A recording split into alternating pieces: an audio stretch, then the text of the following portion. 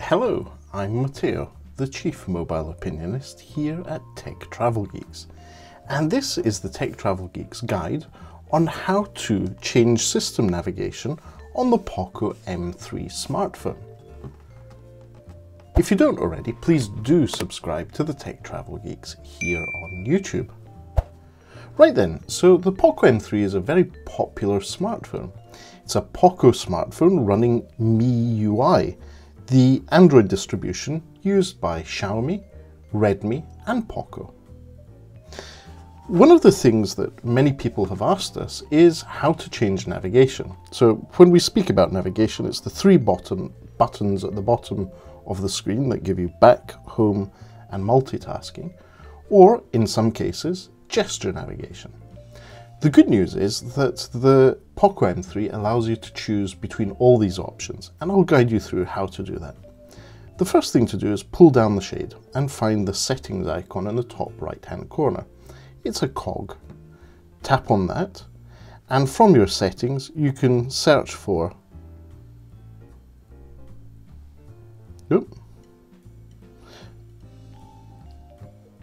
gesture navigation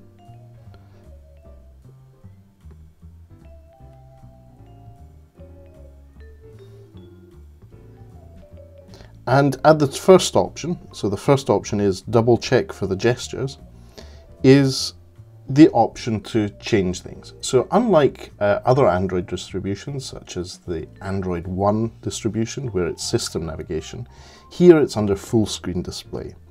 Now you have two options at the top, which are represented and shown to you in an animation. You have the buttons option, which is what I have on my device at the moment with the three buttons at the bottom, and you have full screen gestures. So if you want to go into gesture navigation, you can do so, and you gain a little bit of space at the bottom, and you need to start using your phone using purely gesture navigations, which is swipe in from the left or the right for back and forward. Uh, multitasking is a sort of long pull up of applications and there you are. So that's how to get gesture navigation. But what we also want to show you in this video is more importantly, how to get the buttons to change position. So what we're going to do is search again for gesture. And in this case, we go back to buttons and you'll notice that at the back of my screen, I have back, home and multitasking. There's also a toggle here for mirror buttons, so you can swap around the position of back and multitasking. So this is what Google uses, what uh, Motorola uses, and many other brands use. But some people prefer Samsung's layout, which is the other way around, which MIUI uses as a default, which is back button on the right.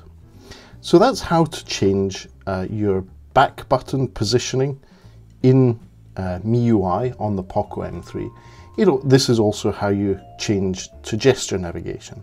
So you need to search for full screen display in the settings and then choose your setting from there. So I'll just show you quickly again. Go into settings, search for gesture, and then just tap on the first option at the top, double check for gestures. It's as simple as that.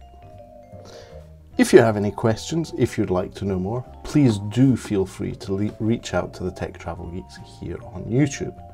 I've demonstrated this change to your system navigation, to your back button positioning in the buttons, or gesture navigation on the Poco M3. This should work with any Xiaomi, Redmi or Poco smartphone running Android 12. So as I said, please do feel free to ask us any questions or leave a comment in the section below. If you enjoyed this video, why not give us a like? And also, if you'd like to see the long-term review of the Poco M3, we'll be releasing that soon here on the Tech Travel Geeks YouTube channel.